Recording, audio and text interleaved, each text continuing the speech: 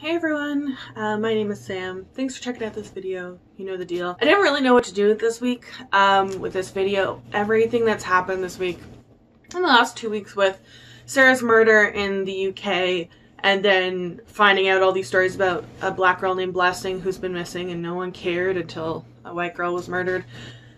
And then the shooting in Atlanta. Um, it's just been depressing and it's really impacted how if I want to read, i.e. I haven't been wanting to read.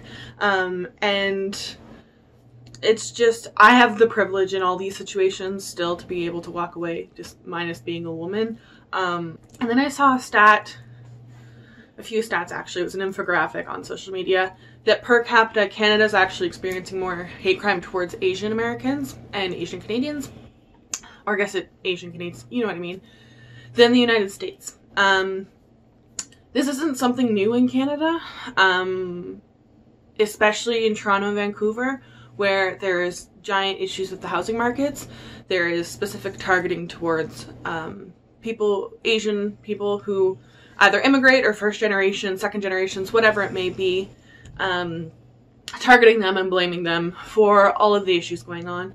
And then we just ignore the fact forever, it seems, that, you know, we had Japanese internment camps. So, like, it didn't feel like this is something I should not acknowledge. And even though I can walk away from it, that's not what being a good ally is. So, I've seen some book lists for, you know, recent releases or releases from, you know, I think Book Riot did one of, you know, books that they have released coming out from um, Pacific Asian American um, authors. So I wanted to kind of continue moving along that wave with books coming out um, that have covers that are from Asian American and some Asian Canadian authors, and that we shouldn't just support these communities when someone a white supremacist goes and murders people in Atlanta, Georgia. This should be something we are always actively fighting against and I, as a white person, am trying to be more self-conscious of where I spend my dollars. So, um, I'll also put this graphic here. I've only seen one that's United States relevant, um, but a graphic of bookstores owned by Asian Americans, so um, trying to support them if possible. Um, if anyone knows of a Canadian one, I, I would love to know. we don't have a, uh, I think I've only ever seen one graphic and it was for like indigenous owned bookstores, which is great. Um, but I would also like to know Asian and black book owned bookstores. So, but this is the one I have seen. So if you are American, um, this is probably a bit more accessible to you that these are some bookstores that you can buy and support. So I am sure I don't have all of the books um, that are coming out, but these are just the ones that I know. So starting off Steel Striker by Marie Lu. This is the sequel to Sky Hunter. Marie Lu is a very well-known YA author. I absolutely love her book Kingdom of Back. Um, I haven't been able to, to get into her fantasies or sci-fis quite as much, but um, she's very popular and this cover reveal just came out. So while you're waiting for this book to come out, you can buy or and or if you're like me probably own it and haven't read it yet um, pick up sky hunter. There's also six crimson cranes by elizabeth lim. Uh, this is the author of the spin the dawn duology. I believe this is a standalone and this is the beautiful us cover. It's gorgeous. And she also got some uh, just stunning uk covers as well. Um, i think i did that in my last video. So uh, she has three books now for you to pick from. Her duology and this standalone. Then there is black water sister by zen cho um, I, I think I've read two books by this author and I really liked one of them if I'm remembering it right.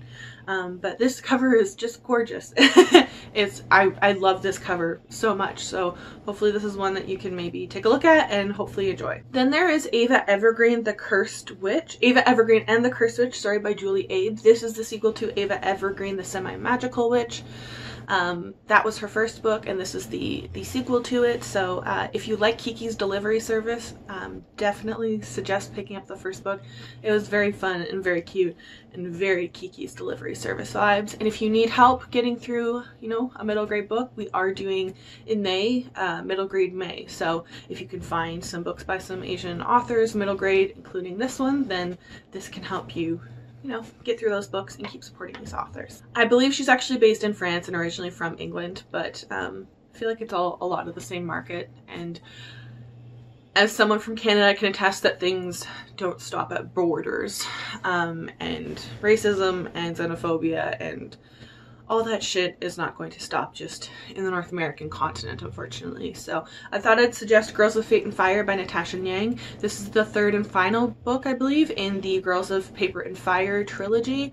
Um, I don't know that she has anything else um, sold to come at this point, but I know she has books one and two in the series that you can read while you're waiting for this third book. Then there is All These Bodies by Kendare Blake. Unfortunately, I've never really enjoyed Kendare Blake's stuff, but she's very popular. I'm glad so many people do enjoy it. She also gets some really nice covers, including this one. This one looks really, you know, it's like the the fog and everything on it i think i said last last video too. I was like nope this is just not for me. When i look at the cover i don't think it's for me but that doesn't mean it's not a good book and it's not going to be for someone. So if you are a fan of Kendare blake and or darker e horror ya stuff this is probably one to take a look at. There is the heart principle by helen hoang um, this is the third i think it's final which makes me sad in the kiss quotient trilogy world um, I know that the author's mother is a Vietnamese immigrant, and um, the author also has um, has Asperger's, um, and that's represented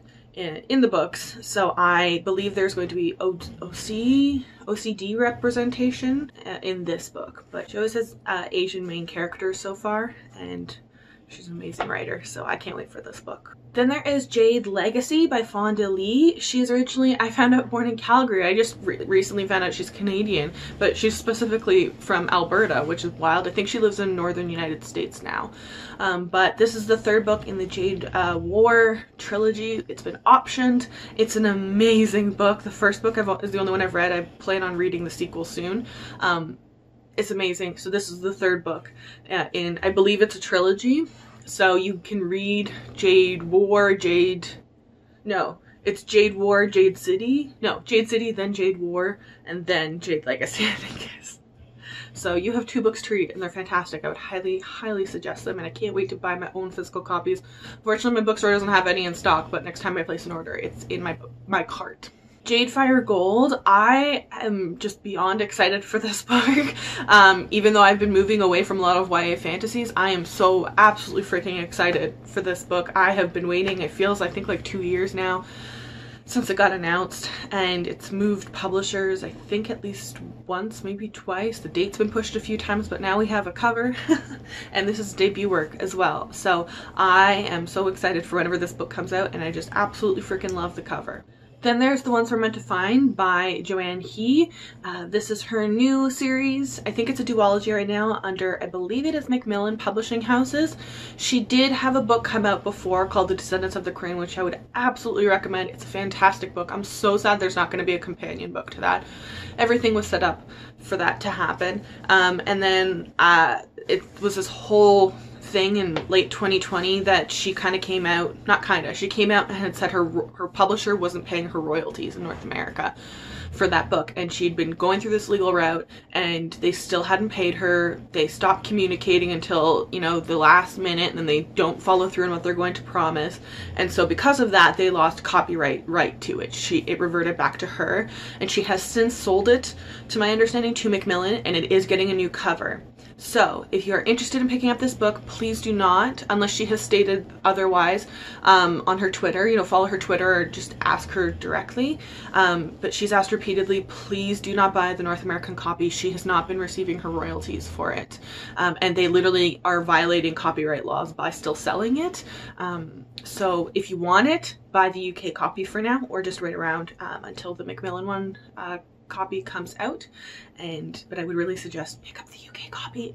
Then there is Not Here to Be Liked by Michelle Quad Quach sorry Quach this is one that's probably not going to be for me, but that's fine. Not every book is for me. It looks like a fun contemporary YA book, and I like that we're moving into the, they're hiring illustrators to like just draw people instead of stock photos and like faceless, faceless girls in ball gowns. And um, yeah, this is just another one too. If you're a fan of contemporaries, take a look at this one. Axie O is not a debut author, but this is probably the first book of hers that I will read is XOXO. It's coming out this summer. The main character meets some guy, I think it's in like New York or something like that, and then goes to Korea for a vacation, I think it is. and runs into him and it turns out he's like some K-pop idol from the summer. I think I remember being like, "Oh, he's G-Dragon." So um and it just looks like I'm going to consume it. I will even if ever even if every single time I read them I'm like, "Oh, this is very like YA centered, like as a grown adult, it's not so much for me, which is fine. Not every book is going to be for me. I will continue, I will still read all the books that involve around K-pop because I just like it. So this is one I'm definitely picking up and I absolutely love the colors of this cover. Just like the purple, the pinky purpley, yellowy. I love that so much. It's gorgeous. I will be uh, definitely buying my own copy of Luck of the Titanic by Stacey Lee. She also wrote The Downstairs Girls. She also has a couple other books in her back catalog. I have not read those yet, but they are on my plan, on my, you know, TBR to get to. Um, I will forever recommend The Downstairs Girls. It is it is such a good book. It was so good. It talked about things I didn't realize it was going to talk about. Um, and it was just so good. So I am so excited. Luck of the Titanic, I believe it's four, it's four or two. I'm starting to, all these books blend together in my head as soon as I start talking about them. Um, but um, these, I think children like acrobats are on the Titanic. Um, and it's I guess based on a true story of like uh, some Chinese children smuggling themselves onto the Titanic, um, and it just sounds amazing. The concept, anything with like uh, tightrope walkers, acrobats, all that stuff is really interesting to me. Um, anything set on the Titanic, very interesting to me.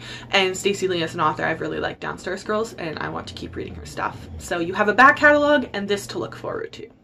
I honestly haven't really heard anything about this book, but I saw the cover and the cover is just has just stopped me in my track. Um, Folklorn. Uh, I couldn't find it for the longest time because I kept typing in folklore without realizing it. But Folklorn by Angela Mi Young Hur. And I believe I saw somewhere originally she's Asian American and she's based in Sweden, I want to say now. Um, so I'm this is just a beautiful cover and I had never heard of the author before this cover so I'm very excited to pick this up and give it a read when it comes out. Then there's The Last Fallen Star by Gracie Kim. This is coming out from the Rick Riordan imprint. We can always count on the Rick Riordan imprint to give us some representation. Um, this is an author, I believe she's actually based in New Zealand, so she is not in the United States or Canada, um, but New Zealand, Australia, Canada, we've all done similar horrible shit all as part of the Commonwealth. Um, so I think this is just, you know, it's still applicable, really. Um, and it's supposed to be about a, um, a Korean American girl, I believe. Um, and it's just another fun middle grade book that I'm really looking forward to. Everything that comes out of the Rick Riordan imprint, I want to read. and this is a debut work by Gracie Kim. Another author I will always recommend people read is Traci Chee. This actually comes out in 2022. I think everything else I mentioned comes out in 21, but they did a cover reveal for this super early, which is great. A Thousand Steps into Night. I think it's in January or February 2022 um, announcement. No, 20 I think it's a 2022 uh, release. Um, you have a back catalog to go through, though she had We Are Not Free, um, which is a uh, historical fiction about the Japanese internment camps in the United States. And then she has the Speaker trilogy, which is, or what's it called officially? Uh, the series Sea of Ink and Gold or the Speaker trilogy. They changed it partway through. I think I'm not totally sure what it's called anymore, but that was a fantastic YA fantasy.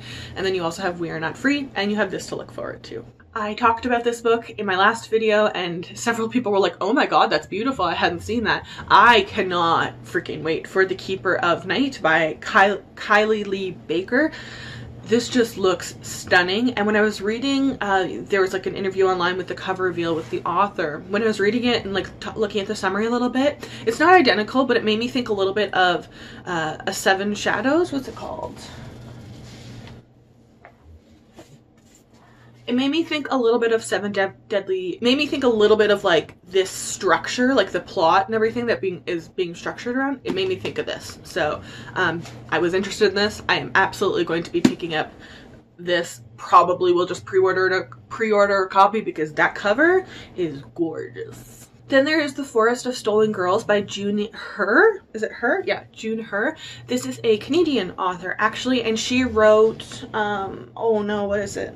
This is the author of The Silence of Bones, and it's another mystery YA. Thinking, I think I gave The Silence of the Bones like a four to five stars, so it was definitely enjoyable. And then the cover got revealed for this, and I was like, oh, it's so pretty.